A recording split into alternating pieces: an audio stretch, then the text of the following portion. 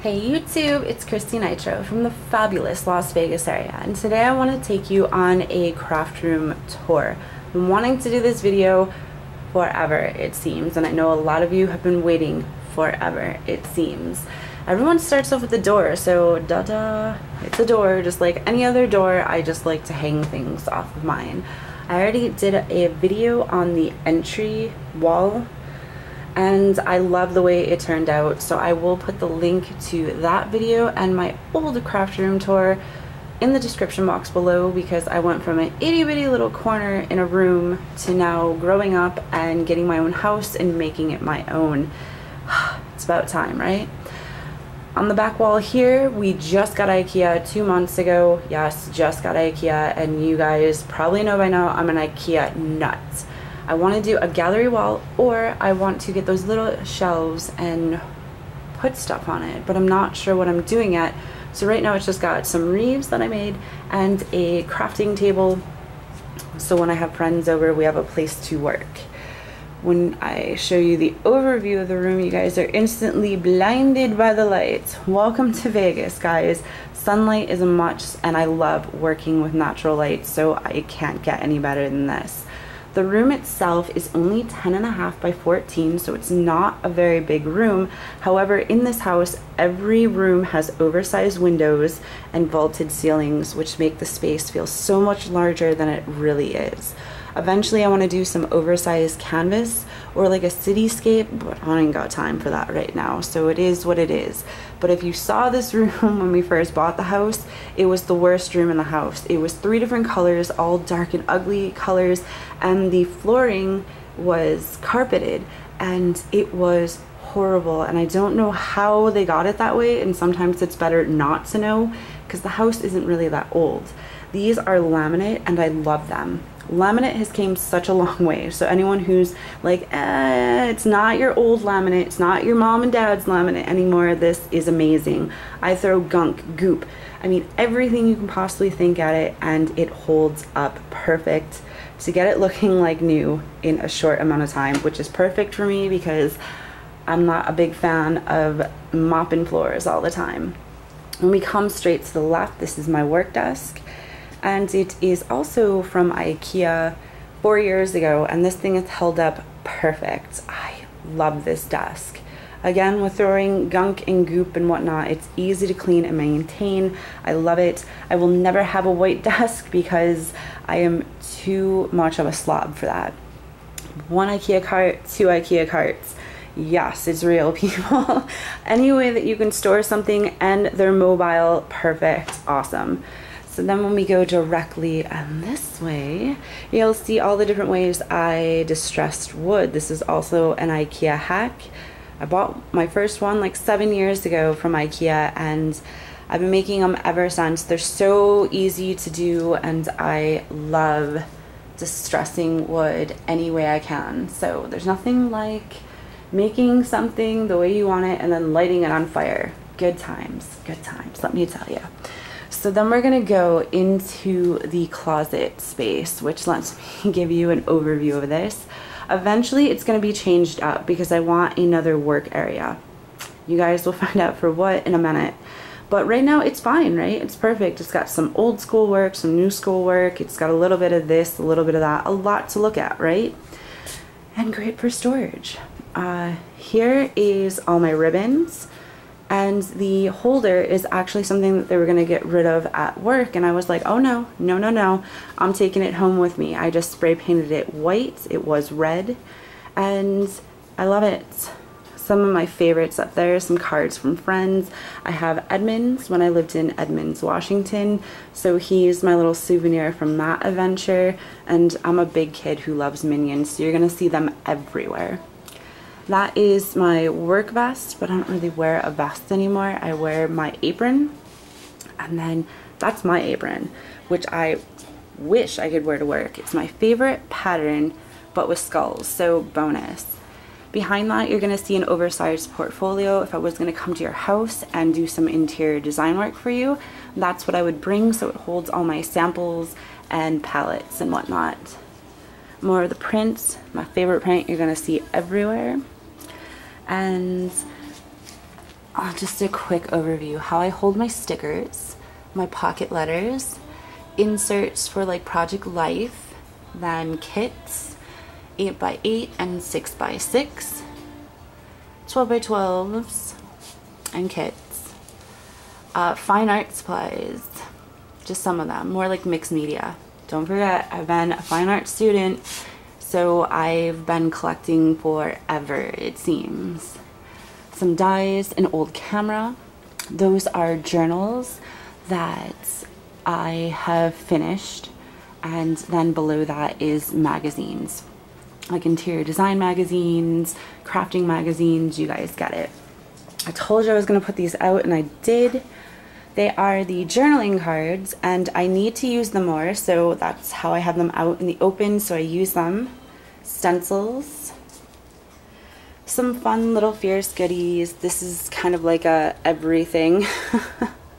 um, you guys have sent me all of these cigar boxes. It is so hard to find anything vintage here in Vegas because Vegas is a fairly new place. So these were all imported from you guys and they hold my pre-made cards in categories and seasons and whatnot. Um, more storage things, jewelry, little storage containers and whatnot. That's how that goes. Told you guys before I could kill a cactus and I've proven that. So fake plants all the way for me. Some things I like to look at there. And then these are my December dailies and uh, albums and minis and stuff that I have completed. And up top are my favorite scrapbook albums. Look at this. Can this be any more me? A Celtic goggle and I was so happy that at a rest stop I could find something with my name spelled the way it's supposed to be. Everyone always spells it like CH. Yeah, no where I hold my reusable bags and this is a catch-all. I hate catch-alls because they keep catching but it's like chipboard albums and things that don't have a home just yet. Moving on to this first little doohickey here. We'll start from the top. Yes, it's real people. That's my washi obsession and it's forever growing. Uh, the Cricut machine was actually donated to me from an amazing friend, Kelly, who is Ambulance Girl 77.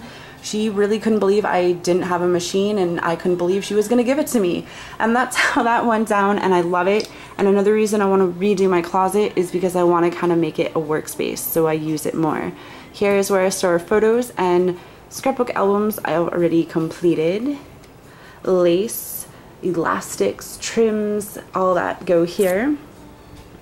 Uh, floral supplies like the chenille stems. I have a few napkins in there and whatnot. You guys can see what's in there. Just a lot of stuff to make a mess. Down below is what I like to call my embellishment bin. It has the flowers, doilies, all the pretty things that we all love to use on our projects.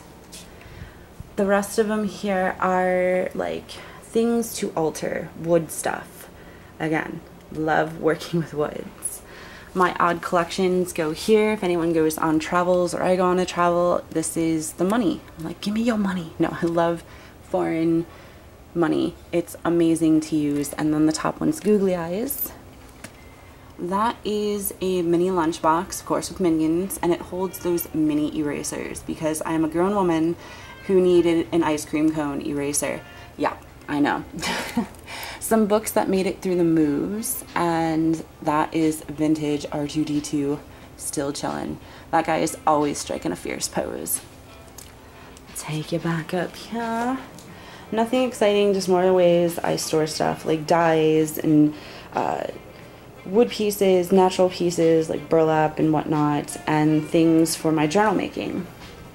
Up top here you can see buttons, glue sticks, and so many wood stamps. Yes, I have way too many wood stamps. That's why, again, I would like a different way to store them because the ones at the bottom are kind of a pain to get to. Take you up and you can see that, yes, I draw on my wall. Old wreath. Um, some amazing stuff that you guys have sent me and some things I have made. But if I take you to the other side, here you can look at cool stuff. We walk to the other side stuff I altered and bought. You know, I'm a pug mom, so I had to do that. Ribbon, normal ribbon. You can see I don't have much. Amazing, amazing artwork from My Furry Treasures. It's one of the first things that she ever gave me, and I love it to death. So it's just an altered clipboard. I put it on. Great for framing stuff. You guys have seen this, I'm sure, a million times over. Again, it was blue, and I just spray painted it white more stuff, oil burner, gotta do it. You guys know what that is. And then more fabulous inspiration from my crafty friends. This is all stuff you guys have sent me. So kudos to you guys, it's beautiful. I love it. Of course, back in the day when I had more time, I used to paint a lot. Not so much anymore, but you can see the roll just in case I want to make more canvas for myself.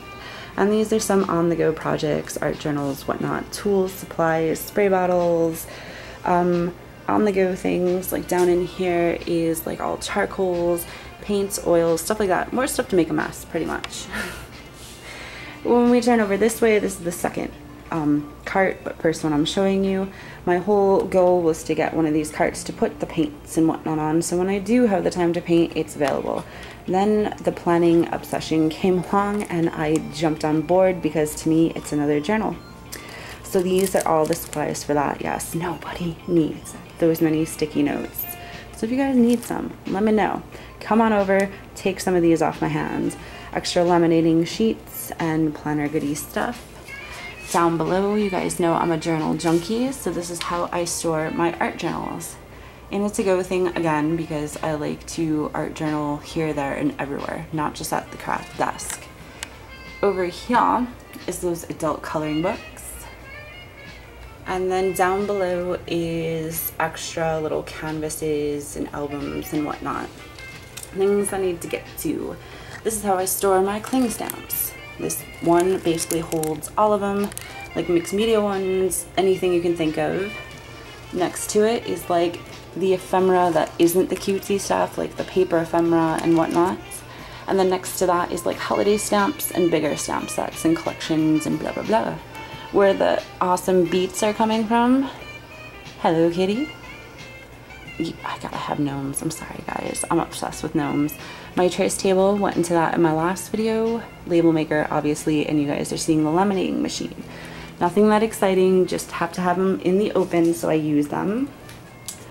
Coming over here, this is now in arm's reach of my desk, so it's my go-tos. Wood burner, always gotta have some of the baby wipes around and stuff like that. Alright, so this is what I used to call my store. It's still kind of my store, but now it's an arm's reach, so it's those must-have things, must-have supplies. My go-to papers, some file folders, you guys can see. Just things that I use and need to, you know, replace. On top, more fabulous things from you guys. I taught a Faber-Castell class and that's how that came out. And then some oversized punches that would not fit in the little drawer where I keep my punches. So that's that. Extra lighting is always a plus. And now you guys are at my desk area. Oh, hey. So this is where I sit. So when I'm doing my videos, I'm in this nice comfy chair. And yeah, I have back problems, so don't, well, okay, enough of that. but desk area and I'm just covering my mat which has seen better days as well the way I store markers and whatnot and here's my distress inks um, more just like things and um, adhesives. Sharpies I should sponsor Sharpie because I use them all the time. My spectrums more distress goobies and then things to make more of a mess. Yep. so this is um, what I look at on the daily and I love it. I love maps. I love stuff like that. I like daydream all the time about going to these amazing places and one day it's on my bucket list to get to some of the places I wasn't able to go just yet.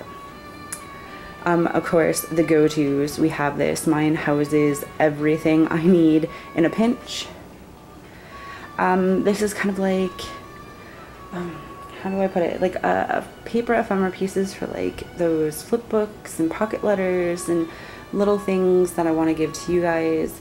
Paints Um, these house my little, little wood veneers and my metal embellishments. That's how I store them.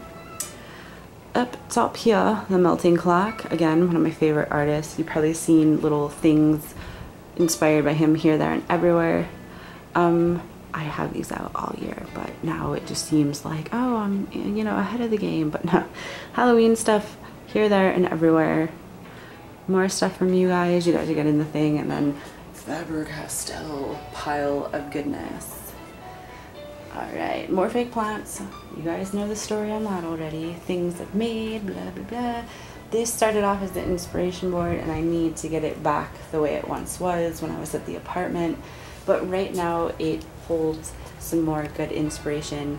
I always get cards when I go to museums and whatnot because I love going to art museums. Um, canvas that I've already done and some of the larger ones. And then we're going up top. Yeah, yeah, look at that. Yeah, grown woman who needs that many cute pens. This girl, I love those things. Uh, more things I've made. This amazing jar was also given to me from someone who is so fierce. How true is that? Love. And then my diploma. So yeah, we've reached it to the end. Thank you guys so much for watching. Any questions? You know what to do down in that comment box. Another overview without hopefully, yeah. Thank you guys. And as always, keep crafting.